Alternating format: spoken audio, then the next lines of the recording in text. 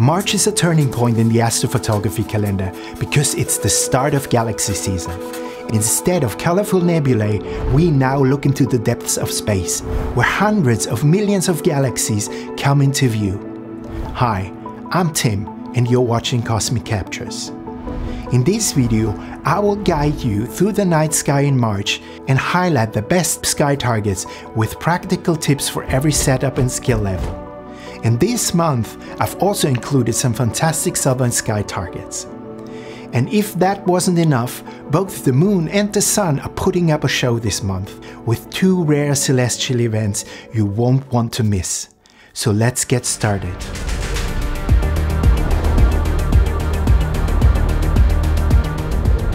The moon plays a huge role in what we can capture.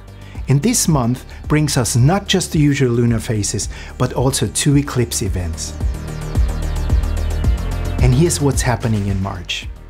The first quarter moon falls on March the 6th, a great time to capture lunar surface details with long shadows along the terminator. And the moon sets after midnight, leaving us dark skies in the hours before dawn. The full moon on March 14th is known as the worm moon, marking the seasonal transition to spring. And this month it comes with something special, a total lunar eclipse on the night of March 13th into March 14th. It will be visible across most of the Americas, Western Europe and Africa, with the moon turning a deep red during totality. Check timeanddate.com for exact timings in your location. The last quarter moon follows on March the 22nd. During this phase, the moon rises after midnight, and that means we have perfect dark sky conditions during the first half of the night. Then, on March the 29th, we have the new moon, bringing us the darkest skies of the month, perfect for faint deep sky imaging. But that's not all. On the same day, a partial solar eclipse will be visible across northeastern America, Europe, northern Africa, and western Asia. And this is a rare chance to see the moon partially covering the sun. But safety is crucial, so always use proper solar filters for observation and imaging. For exact timings and visibility in your area, check timeanddate.com. Do you want to plan your imaging sessions more effectively? Then download the Moonlight Astrophotography Planner, also called MAP, from my website. It will help you determine the best time for deep sky and nightscape photography based on the moon's brightness and phase. So whether you're capturing the moon itself, planning deep sky imaging, or chasing an eclipse, this March offers plenty of opportunities to get outside and photograph the sky.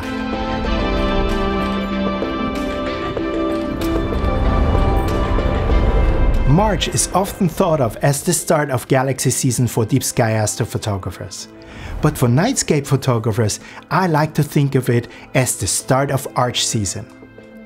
In the northern hemisphere, the Milky Way core is still low on the horizon, but spring is actually one of the best times to capture wide field panoramas of the Milky Way stretching across the sky.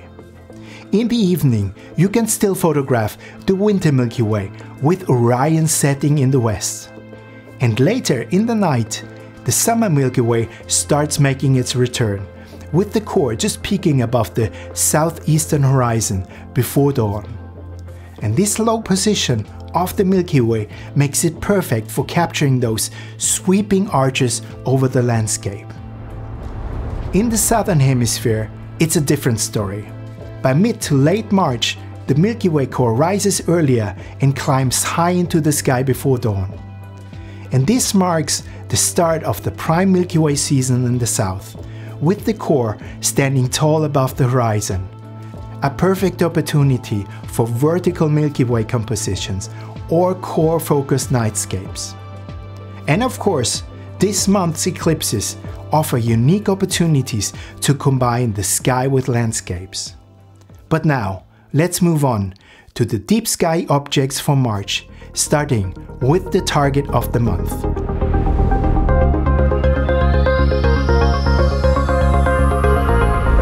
The Leo triplet is a classic galaxy group and a perfect introduction to galaxy season.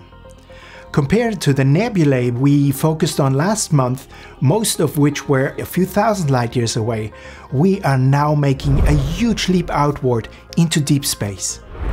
These galaxies lie around 30 to 35 million light years away. And that's not just across the Milky Way, it's beyond it in another galaxy altogether.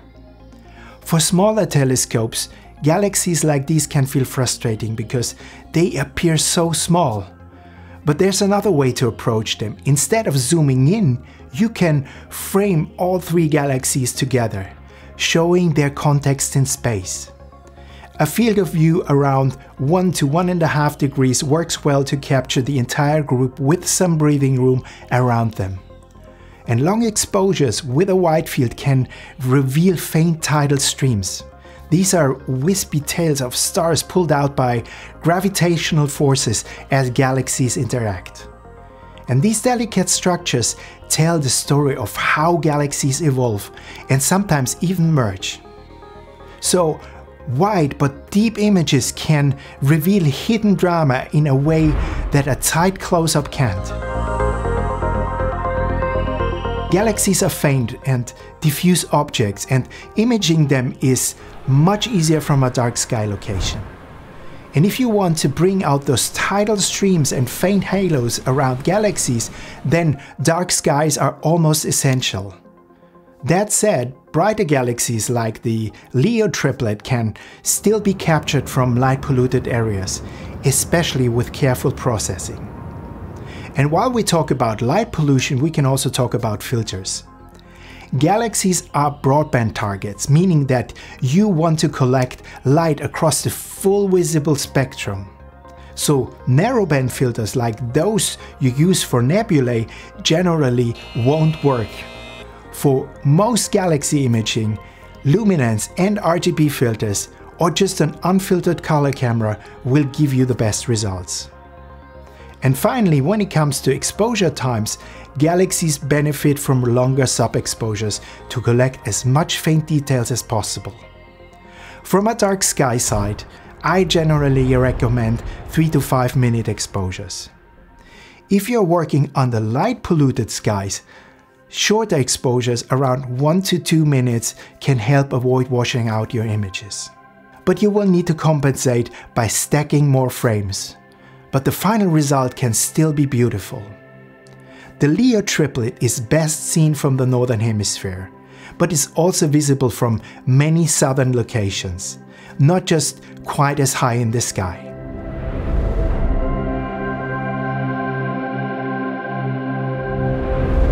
Next is NGC 3521, sometimes called the Bubble Galaxy, because the faint halo of shells and streams that surround it.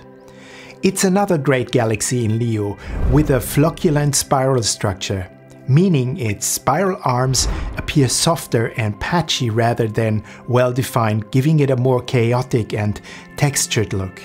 A narrower field of view around 30 to 40 arc minutes frames the entire galaxy beautifully, with some room around it to capture its fainter outer features. Also, long exposures and dark skies will make a big difference in revealing these details. NGC 3521 is mainly a Northern Hemisphere target, but it's still visible from much of the south, though it stays lower on the horizon. Now, NGC 3521 is the kind of galaxy that really benefits from a longer focal length to bring out its details. And I know if you're using a small telescope, you might be thinking, well, what can I actually capture during galaxy season? But don't count yourself out just yet, because smaller setups and even entry level smart telescopes can still be a lot of fun during galaxy season. Let me show you why.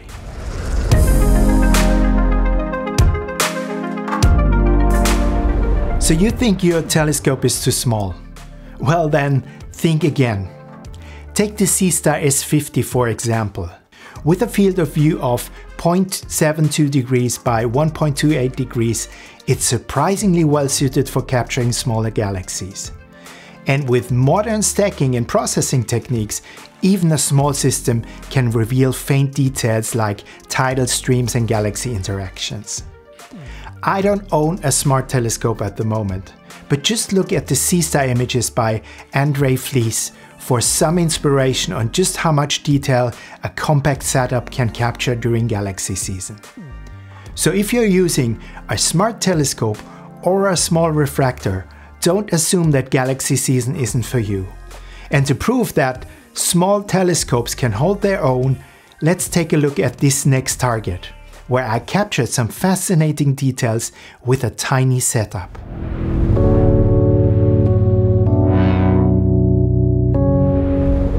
This next pairing offers a fascinating contrast between deep sky objects. M97, also called the Owl Nebula, is a planetary nebula, a dying star shedding its outer layers and leaving behind a glowing shell of gas. And nearby M108, the Surfboard Galaxy, is an edge-on spiral with dark dust lanes running across it. A telescope with a Moderate field of view can frame both objects in the same shot, making this a great composition for small to mid-sized setups.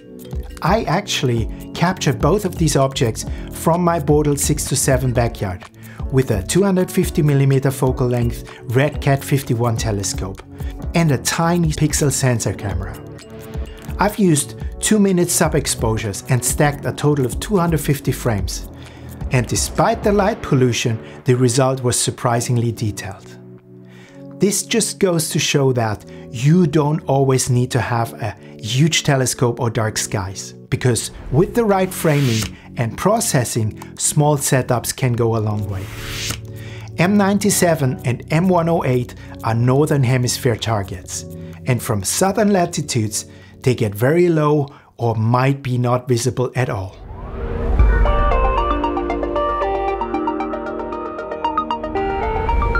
Before we move on, I want to take a quick step back and talk about how astronomers classify galaxies. When you're imaging galaxies, you'll notice that they come in different shapes and structures. And this led astronomer Edwin Hubble to create Hubble's classification scheme, which sorts galaxies into a few main types based on their appearance. Elliptical galaxies are smooth and rounded, with very little visible structure. They often look like a soft glow in the sky. Spiral galaxies have bright cores with spiral arms wrapping around them. Sometimes we see these spirals face on, revealing intricate arms, and other times edge on, where they appear as thin streaks with dark dust lanes cutting across them. Barred spiral galaxies are a variation, where the spiral arms don't extend directly from the core, but instead from a bright bar of stars running through the center. Understanding these differences adds a new layer to your astrophotography. You're not just capturing a faint fuzzy object, you're revealing the structure and shape of entire galaxies each with its own story of formation, evolution, and sometimes dramatic interaction with its neighbors. And in our next target, you will see even more variety, where spirals and ellipticals line up side by side, showing that diversity in a single frame.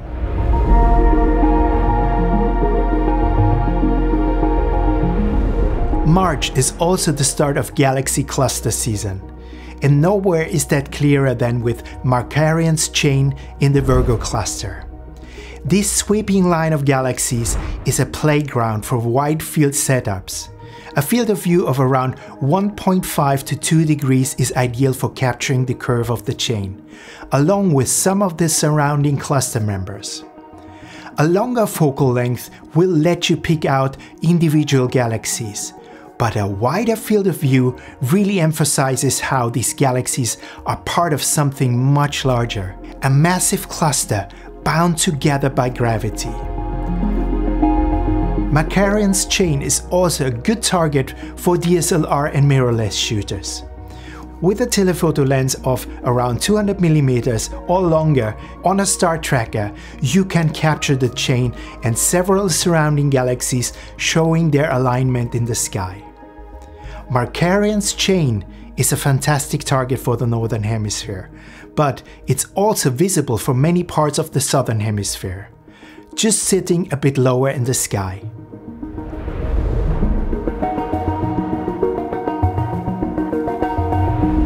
Next is M104, the Sombrero Galaxy. It's small but bright and famous for its dust lane cutting across a bright core. This target works well with longer focal length, but even small telescopes can show its distinctive shape. A tight field of view of around 15 arc minutes works well for a close-up view. But going a little bit wider helps to frame the faint outer halo better. As with all galaxies, broadband imaging, which means no narrowband filters, is the way to go. M104 is actually better seen from the southern hemisphere, but it's still visible from lower latitude northern locations, just closer to the horizon.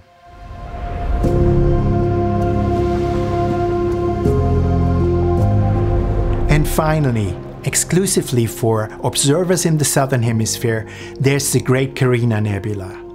This is one of the largest and brightest emission nebulae in the night sky, filled with dark dust lanes and glowing gas clouds. A wide field of view of around 2 to 3 degrees works well to capture the full structure, while closer crops can reveal details like the Keyhole Nebula around Eta Carinae. Unlike galaxies, emission nebulae shine in narrowband wavelength like hydrogen alpha and oxygen 3, making them excellent targets for dual narrowband or narrowband imaging. The Carina Nebula is also a fantastic target for DSLR and mirrorless shooters. Its large size and brightness means it works well with a camera and for example a 135mm lens on a simple star tracker. The Great Carina Nebula is a southern hemisphere object. It's visible from lower northern latitudes, but it never gets high above the horizon.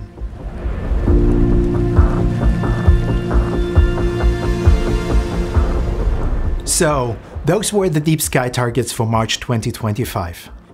And now, I've been working on something new, something I think will make planning your next deep sky session even easier. In addition to the visual overview in this video, I've put together a detailed deep sky target list with all the key imaging information. Recommended fields of view, ideal filters, observability, coordinates, and much more. You can download it as a printable PDF from my website. But I want to give this new edition a proper name, and for that, I'd love your input. I have two ideas. I could either call it DART, like Deep Sky Astrophotography Reference and Targets. It's precise, straight to the point, and emphasizes its role as a target reference sheet. The other option is to call it CAP, Cosmic Astrophotography Planner. This one matches the map, which is the Moonlight Astrophotography Planner I already have, making for a nice pairing. So what do you think? Is it DART or is it CAP? Let me know in the comments which name you prefer. And if you're capturing any of this month's targets, let me know in the comments which objects you're planning to image or if you've already captured something. And if you didn't find a target that works for you, check out last month's video. Some of the nebulae I featured there are disappearing fast, but you still have a short window to capture them. Thanks for watching and clear skies to all of you.